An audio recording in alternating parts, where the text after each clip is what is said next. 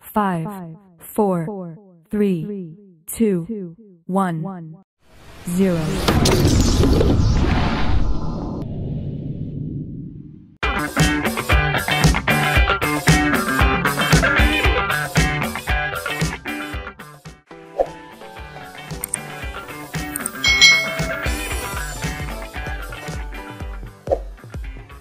Halo adik-adik semuanya, selamat datang di channel YouTube Kak Citra.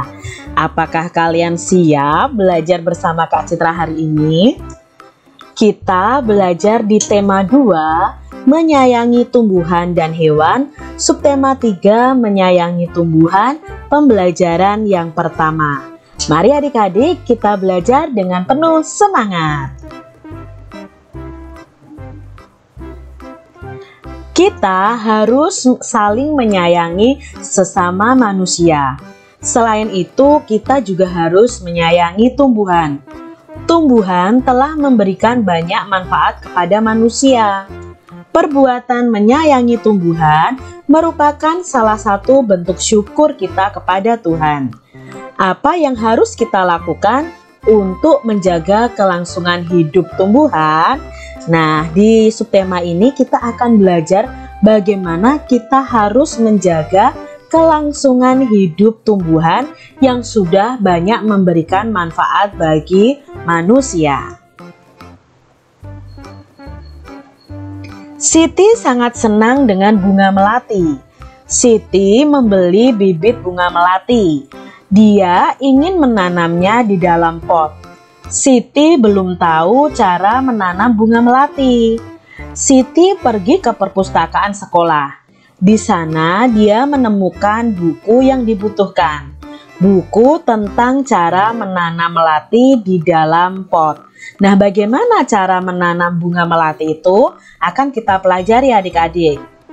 Berikut petunjuk perawatan melati uh, bunga melati yang Siti baca. Nah, di sini ada petunjuk bagaimana menanam dan merawat bunga melati.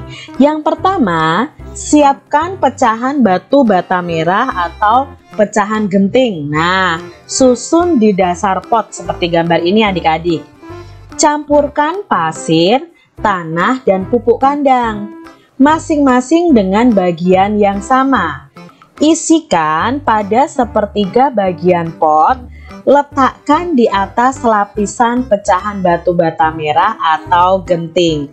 Nah ini adik-adik, sepertiga bagian pot diisi dengan campuran pasir, tanah, dan pupuk kandang. Ingat ya, pupuk kandang itu pupuk yang berasal dari kotoran hewan yang sudah diolah adik-adik menjadi pupuk.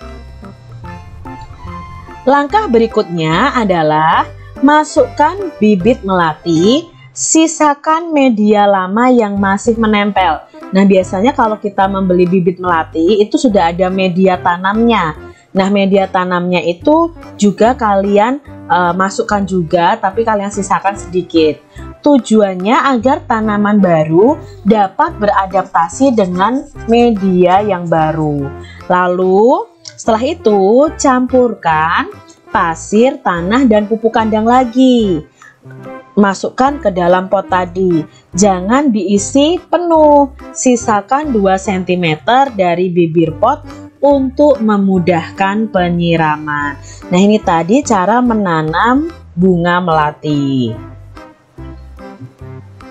Pastikan tanaman dapat berdiri kokoh Siram tanaman dengan air secukupnya.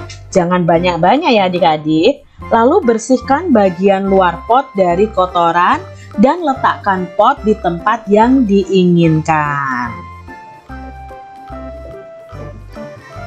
Buat tanda centang di dalam kotak bila kalimat-kalimat di bawah ini sesuai dengan petunjuk perawatan tanaman melati tadi. Yang pertama, batu bata merah dan pecahan genting diletakkan di dasar pot. Ya, ini sesuai dengan perawatan tanaman melati.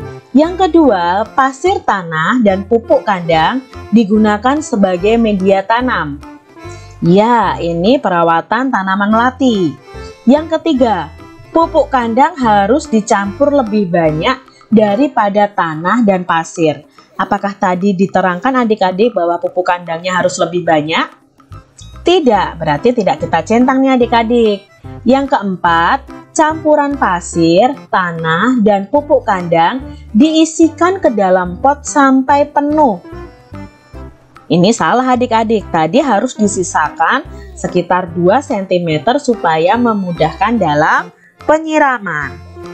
Berikutnya, yang kelima, media lama dibiarkan tersisa pada akar bibit melati. Ya, media lamanya harus ada ya disisakan adik-adik supaya bunga melatinya atau bibit melatinya ini beradaptasi. Yang keenam, kita harus memastikan tanaman melatinya berdiri dengan kokoh. Ya, ini sesuai. Yang ketujuh, siram tanaman melati dengan air sebanyak-banyaknya. Salah ya adik-adik ya, kita siram dengan air secukupnya. Yang kedelapan, sebelum diletakkan di tempat yang diinginkan, bagian luar pot harus dibersihkan. Iya, ini sesuai dengan petunjuk perawatan tanaman melati. Siti ingin mengetahui cara merawat bunga mawar juga. Ia mendatangi penjual bunga untuk bertanya tentang cara merawat bunga mawar.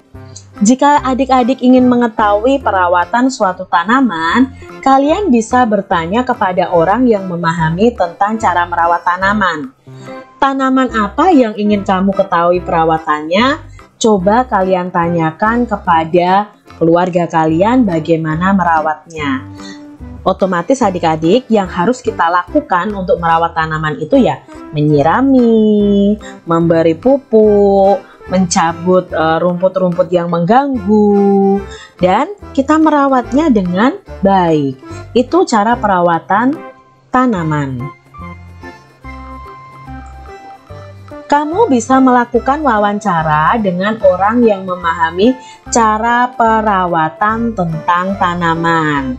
Jadi coba adik-adik bisa cari tahu nih, mungkin ada tetangga kalian yang suka merawat bunga, suka merawat tumbuhan. Nah, coba tanyakan apa saja sih cara merawat tumbuhan. Di sekolah Siti ditanam pohon sirih. Sirih adalah tanaman yang tumbuh merambat. Daunnya berbentuk jantung dengan ujung daunnya runcing. Panjang daun sirih sekitar 5-8 cm dan lebarnya 2-5 cm. Jika daunnya diremas, akan mengeluarkan bau khas. Nah, Siti dan teman-temannya akan mengukur panjang pohon sirih. Sebelum mengukur panjang pohon sirih, Siti dan teman-temannya belajar tentang garis bilangan. Adik-adik, kita akan belajar tentang garis bilangan. Apa sih garis bilangan? Yuk kita simak bersama-sama. Kita amati bersama garis bilangan di bawah ini. Nah, di sini Kak Citra sudah membuat garis bilangan. Garis bilangan itu dimulai dari angka 0 setelah angka 0 secara berurutan angka 1, 2, 3, dan seterusnya sesuai dengan angka yang kalian butuhkan. Jadi kalau kalian membuat garis bilangan, garis dulu di buku kalian menggunakan penggaris, lalu di bawahnya kalian tulis angka 0 sampai angka misalnya di sini 10 dengan jarak yang sama masing-masing angkanya. Ini adalah garis bilangan. Tulislah angka yang seharusnya menempati huruf pada garis bilangan di bawah ini. Coba adik-adik buat garis bilangan seperti ini. Nah, di sini ada uh, huruf ya yang seharusnya terisi angka. Nah, kita mau cari tahu nih, huruf berapa yang uh, angka berapa yang menggantikan huruf S ini. Nah, kira-kira angka berapa ya? Habis angka 0 dan sebelum angka 2. Maka di sini seharusnya angka Ya, angka 1. Lalu di sini ada huruf L. Ini huruf L kecil ya adik-adik ya. Nah, setelah angka 2 adalah angka 3. Jadi huruf L ini harusnya adalah angka 3. Angka 4 lalu R. Nah, R ini berapa angkanya? Ya, R ini angkanya adalah 5. Setelah 5, 6, 7, lalu I. I-nya berapa adik-adik? Nah, ini ya ini 8 ya. Di sini Kak Cita tidak tulis nih. Langsung ke H. Nah, I-nya harusnya 8. 9 hanya berapa? Ya, hanya adalah 10. Itu cara menuliskan angka pada garis bilangan. Pohon sirih yang baru ditanam berada di posisi A atau posisi angka 0. Nah, di sini setelah beberapa waktu, panjang pohon sirih ada di posisi B, yaitu di angka 2. Nah, di sini dari posisi A ke posisi B ini berpindah dua satuan kita dapat menuliskan bentuk penjumlahannya seperti ini. Tadi awalnya, titik awalnya di angka 0. Jadi 0 berpindah dua satuan. Berarti 0 ditambah 2, maka titik terakhirnya adalah di angka 2, di B ini. Maka jawabnya adalah 2. Jadi dari garis bilangan ini kita bisa menentukan bentuk penjumlahan. Kak Citra punya contoh lain. Selesaikan penjumlahan di bawah ini menggunakan garis bilangan. Yang pertama adalah 5 ditambah 2. Kita gambar dulu garis bilangannya. Maka letak awalnya adalah angka 5. Nah, kita buat lengkungan garis seperti ini. Dari 0 ke angka 5. Ini adalah titik A tadi, titik awal. Lalu ditambah 2. Nah, dari 5 ini kita geser 2 adik-adik satu, dua. Berarti dari A ini menuju ke angka 7. Ini adalah B-nya. Ingat B ini adalah hasil akhirnya. Jadi, kita hitung dari 0 sampai 7 itu ada 7 satuan. Maka 5 ditambah 2 sama dengan 7. Contoh soal berikutnya adalah 6 ditambah 3. Langkah pertama kita membuat garis bilangan. Adik-adik pasti langsung bisa sih 6 ditambah 3, tetapi di sini Kak Citra mau menerangkan tentang penggunaan garis bilangan pada penjumlahan.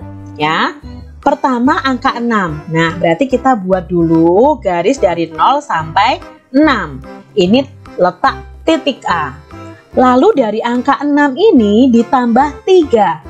Berarti kita geser ke samping tiga satuan. Satu, dua, tiga. Berhenti di angka 9. Maka 6 ke 9 itu adalah titik B. Nah, untuk mengetahui hasilnya berarti dari 0 sampai ke titik B ini. Ada berapa satuan yang kita lewati? Yaitu ada 9. Jadi 6 ditambah 3 sama dengan 9. Begitu adik-adik tentang garis bilangan. Nanti kalian bisa coba ya, eh, di buku paket itu ada contoh penjumlahan dengan garis bilangan. Siti sedang membantu ibu merapikan lemari baju. Di lemari baju ada beberapa kain batik milik ibu. Siti memperhatikan motif yang ada pada kain batik. Ada bermacam-macam motif daun dan bunga. Siti sangat tertarik dengan motif daun dan bunga. Setelah membantu ibu, Siti menggambar hiasan dengan motif tumbuhan. Ini adalah contoh eh, gambar motif dengan tumbuhan atau daun dan bunga. Nah, adik-adik kalian bisa membuat gambar hiasan itu sesuai dengan apa yang menjadi imajinasi kalian atau bisa disebut juga dengan gambar imajinatif. Nah, untuk gambar hias sendiri kalian bisa memilih daun, bunga-bunga untuk kalian gambar. Setelah itu kalian warnai supaya gambar kalian lebih menarik. Bisa memakai pensil warna, bisa memakai krayon, bisa juga memakai spidol. Tentunya dari ketiga alat warna ini memiliki hasil warna yang berbeda-beda. Dari pensil warna misalnya hasilnya itu tipis adik-adik ya tipis uh, dan tidak terlalu uh, tebal adik-adik sedangkan untuk yang memakai krayon itu pasti tebal adik-adik, hanya saja sedikit kasar. Untuk yang memakai spidol itu tebal dan halus. Kalian bisa menggunakan alat mewarnai ditambah lagi dengan cat air. Nah, itu tadi adik-adik eh, peralatan yang digunakan untuk mewarnai gambar hiasan. Kalian bisa praktekkan di buku gambar kalian masing-masing. Demikian tadi adik-adik pembahasan kita di tema 2, subtema 3, pembelajaran 1. Semoga video ini bermanfaat untuk adik-adik semuanya. Terima kasih sudah menyaksikan video dari Kak Citra. Sampai jumpa kembali di video pembelajaran selanjutnya. Tuhan memberkati. Jangan lupa tekan tombol subscribe, lalu tekan loncengnya, tekan juga tombol like, lalu share ke media sosial kalian. Jangan lupa untuk ikuti media sosial Kak Citra. Terima kasih.